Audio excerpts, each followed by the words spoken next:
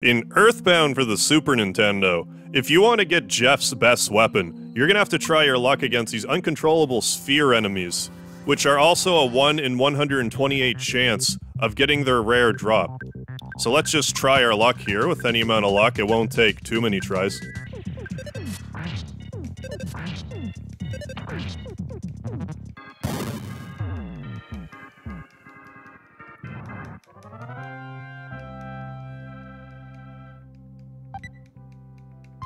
Re- what? Really?